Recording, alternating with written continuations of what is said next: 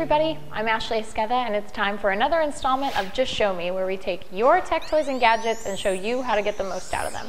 Today I'm going to show you how to set up a lock screen on your Android device.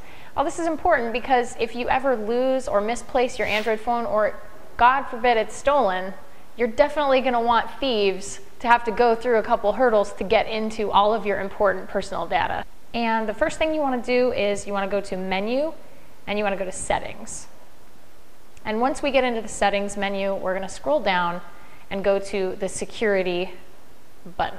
And once you tap that, and the very first thing says Set up Screen Lock, and that's what we're looking for. So we're going to press Set up Screen Lock, and you have three different options uh, to set up a screen lock. You can have a pattern, which is uh, a bunch of dots in a grid that you have to kind of connect in a pattern of your choice to unlock the phone.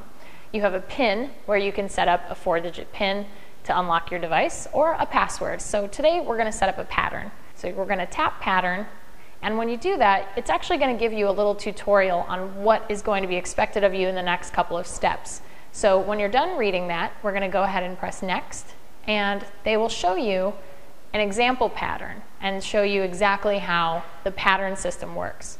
So when you're ready to draw your own pattern, you want to tap next and we're going to draw a pattern here and you're going to have to connect at least four dots.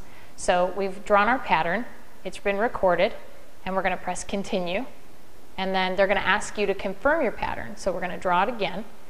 And once that's done, you press the confirm button, and it'll take you back to the security settings page. Now, if you lock your phone and then unlock it, you can see that when you go back into your lock screen, it will ask you to put in that screen lock to unlock your phone. And that's how to use security settings on your Android device to create a new lock screen to help keep out potential nefarious folks.